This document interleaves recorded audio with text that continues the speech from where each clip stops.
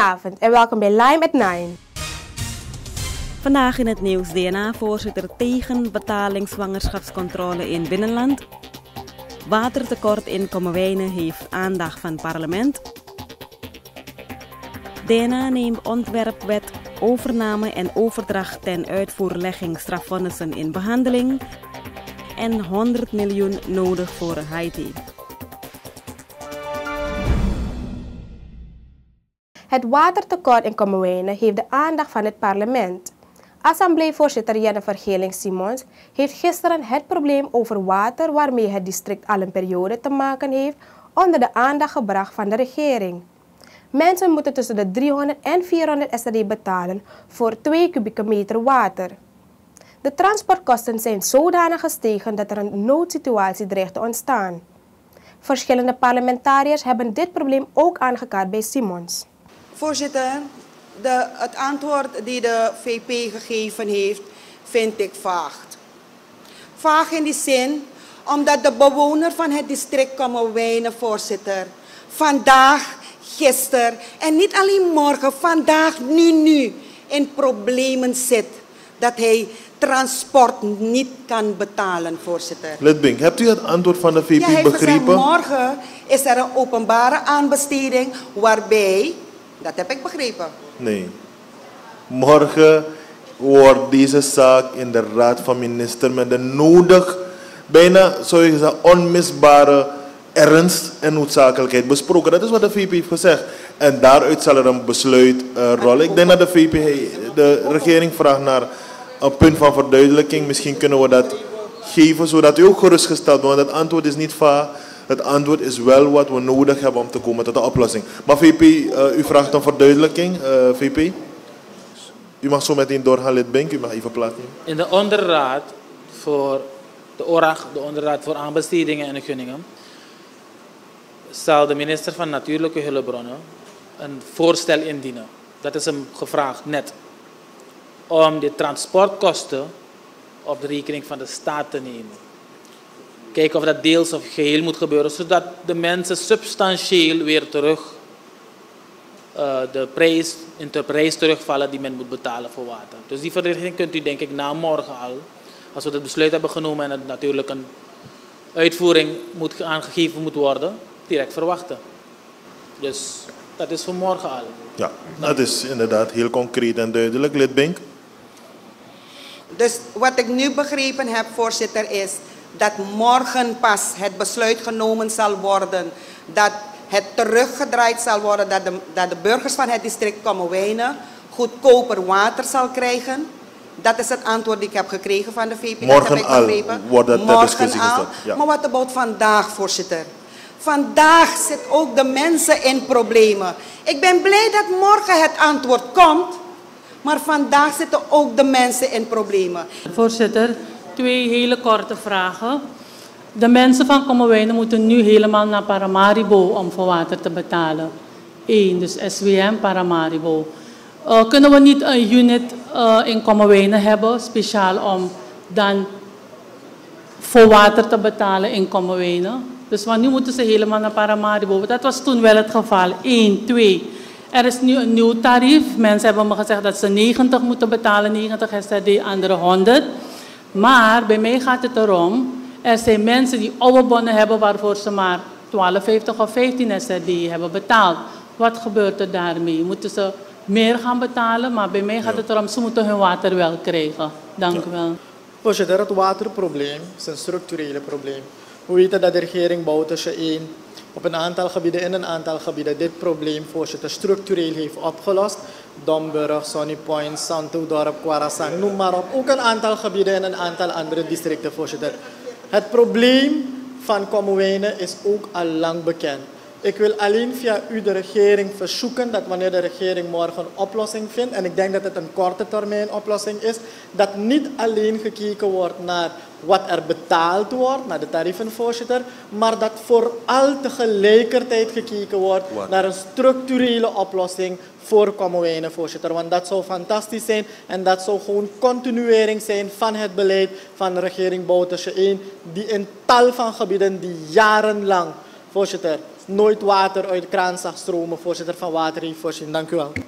Volgens vicepresident Ashwin Adin wordt samen met het ministerie van Natuurlijke Hulpbronnen gewerkt aan een oplossing. Het verzorgingsgebied viel eerder onder de dienstwatervoorziening. Nu is ook dit gebied overgenomen door de Surinaamse waterleidingmaatschappij. De trucks waarmee er water wordt getransporteerd zijn defect. De situatie van de trucks acuut morgen opgelost wordt. Dat wil zeggen, de trucks die 15 kapotte trucks die er waren, dat wij dat oplossen op een manier dat wij de rekening daarvan nemen. Dat wil zeggen, geen terugdraaiing, maar een substantiële aanpassing van het, uh, van het tarief. En dat hij direct heeft aangegeven dat er nu al onderzoekingen gaande zijn voor identificatie van waterbronnen in Kommerwijnen. Om dat structureel op te lossen. Dat heeft hij direct ook aangegeven, dan u, bent u ook daar op de hoogte van. Dus dat is in, principe de structurele oplossing. Alles zit in Brokopondo, alles zit in Kommerwijnen. Dat de waterbronnen, dat de transportkosten die er daarbij daarmee gepaard gaan ook helemaal terugvallen. Of veel terug kunnen vallen. Zodat de mensen niet zoveel voor het water. En waar nodig, als dus inderdaad dat soort bronnen geïdentificeerd worden, is het noodzakelijk dat je daar dan ook de nodige entiteiten inbrengt, instituten inbrengt, zodat de mensen lokaal ook kunnen voeren. Het parlement heeft gisteren de ontwerpwet overname en overdracht en uitvoerlegging strafvonnissen in behandeling genomen. De wet gaat over buitenlandse strafrechtelijke beslissingen en de overdracht van de ten uitvoerlegging van Surinaamse strafrechtelijke beslissingen naar het buitenland. Er zijn diverse kritische vragen gesteld door de commissie van rapporteurs onder voorzitterschap van Kishu Persat Gangaram Pandey en enkele assembleeleden. In de huidige wet heb ik uh, in de memorie van toelichting niet gezien dat dat specifiek is genoemd of omschreven, waardoor ik vragen heb van welk doel wordt het gediend? Welk doel wordt, die willen we dienen met deze wet? En hebben we al beleid daarop gemaakt?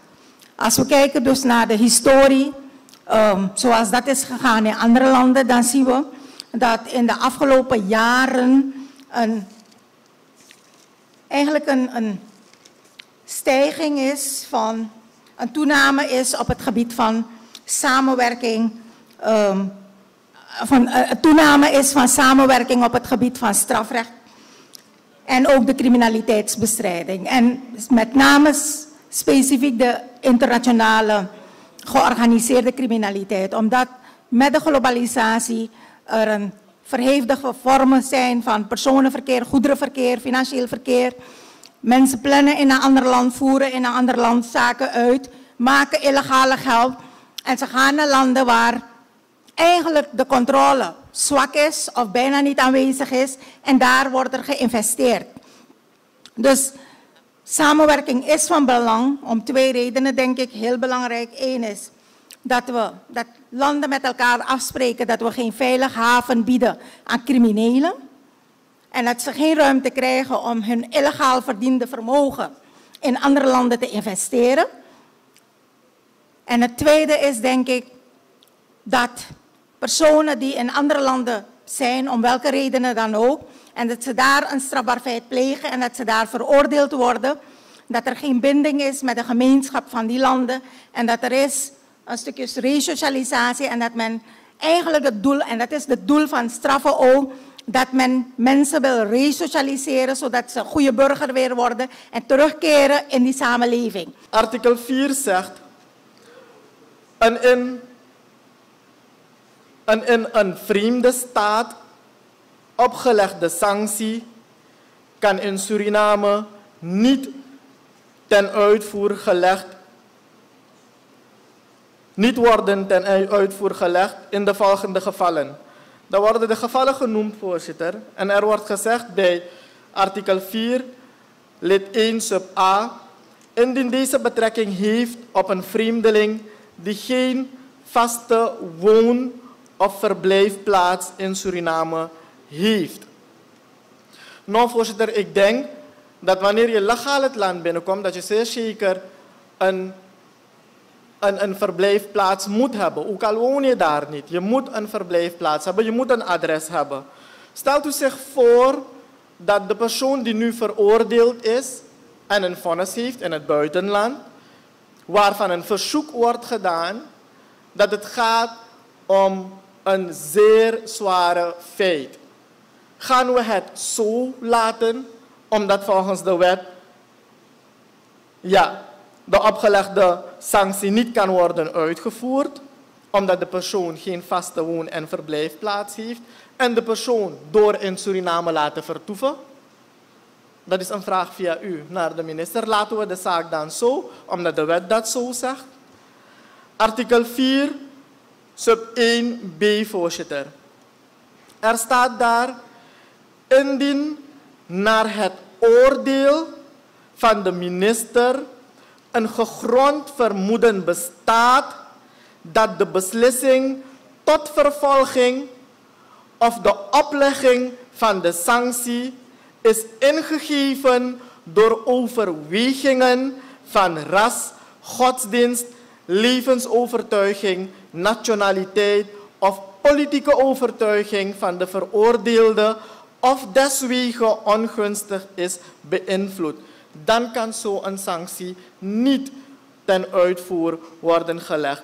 Ter uitvoering hiervan zullen er uh, uitleveringsverdragen uh, komen waar er misschien nog wat details in uh, specifiek naar dat land toe, welke, wat men overeenkomt.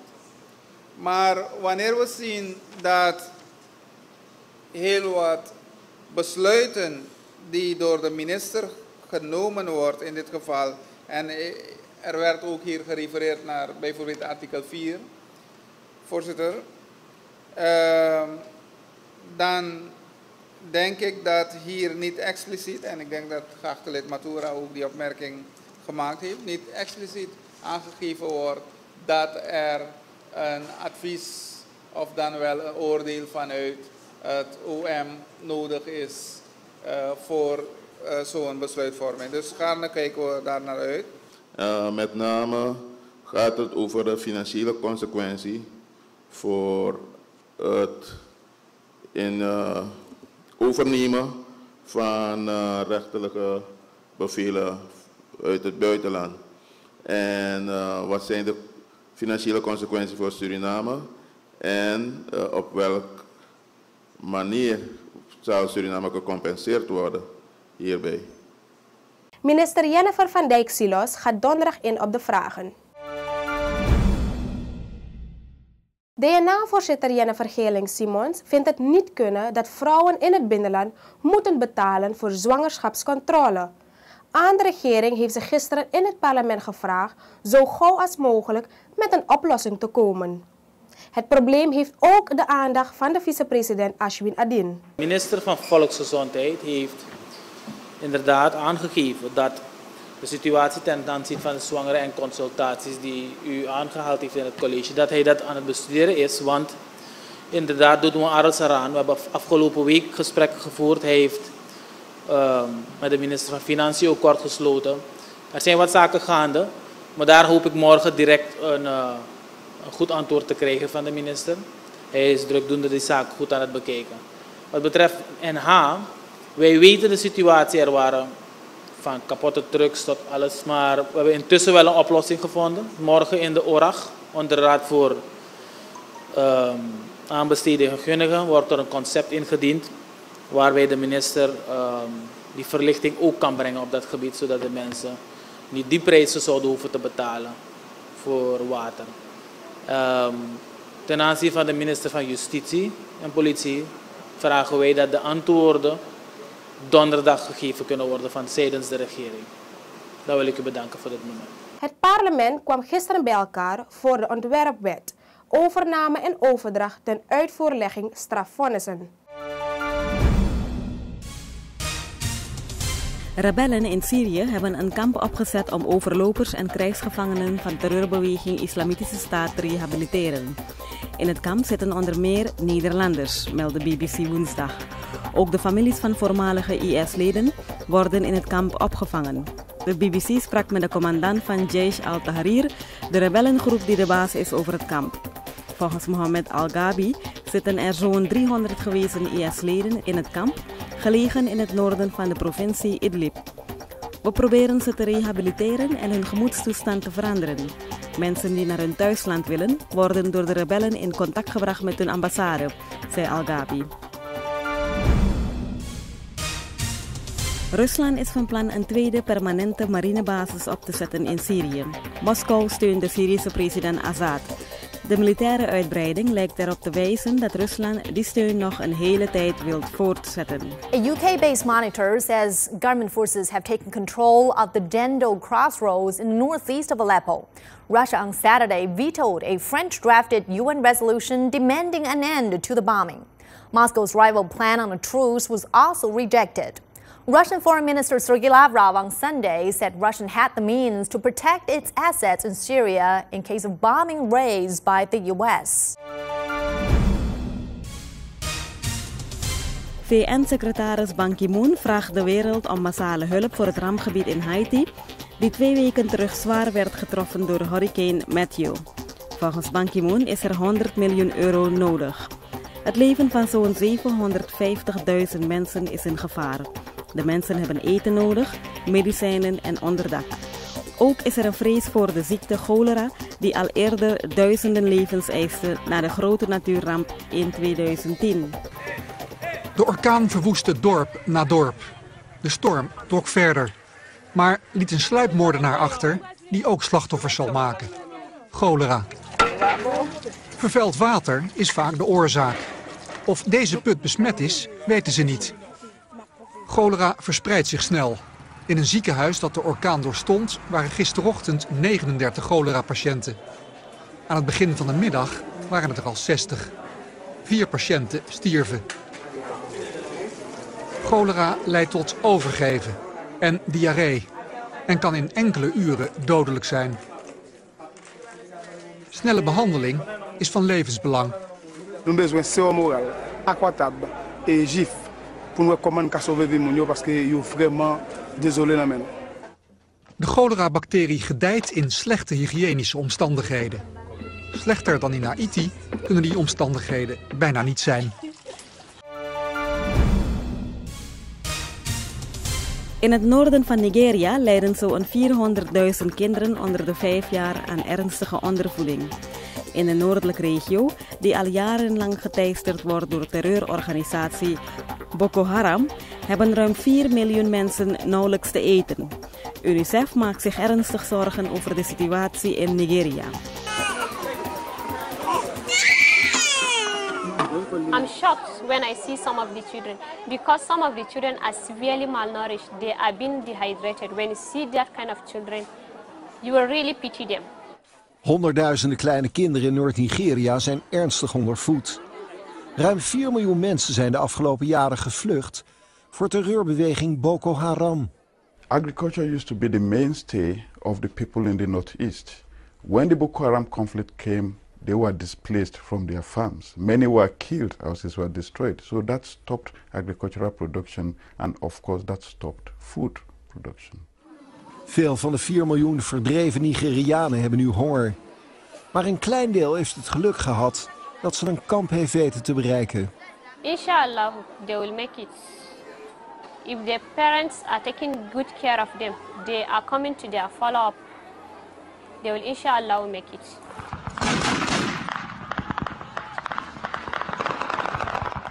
Terreurorganisatie Boko Haram heeft jarenlang een felle strijd gevoerd om in het noorden een streng islamitische staat te stichten. Daarbij zijn meer dan 20.000 mensen gedood. Boko Haram was brutal. It, they, I mean, people were killed. Uh, people were abducted. Members of families were displaced. Uh, families disjointed. So it was not easy. Farms were destroyed. Livelihoods were destroyed. abani kura de bani gana la bani kura lani iyai karunde Nu Boko Haram door het Nigeriaanse leger grotendeels is verdreven, worden de gevolgen voor de bevolking pijnlijk zichtbaar.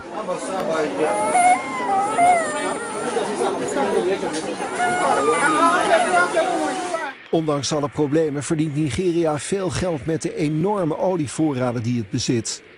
Maar dat geld wordt volgens onderzoeker Akin Joade van het Afrika Studiecentrum verkeerd besteed. Unfortunately, the money is not put into infrastructure. The money is not put into health or education sector. Refineries in Nigeria are not working well.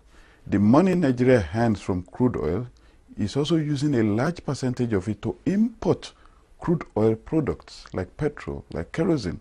So Nigeria loses the money it is earning by importing what it is not supposed to import. Zowel op korte als op lange termijn is er volgens de onderzoeker veel hulp nodig.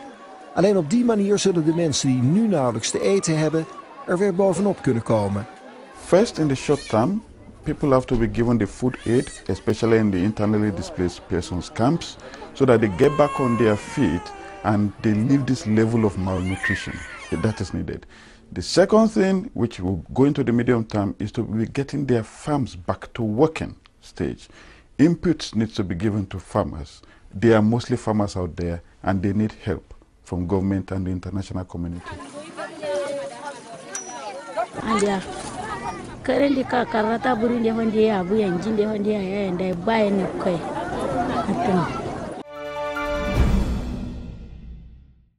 En dit was het voor Lime at 9. Nu sport.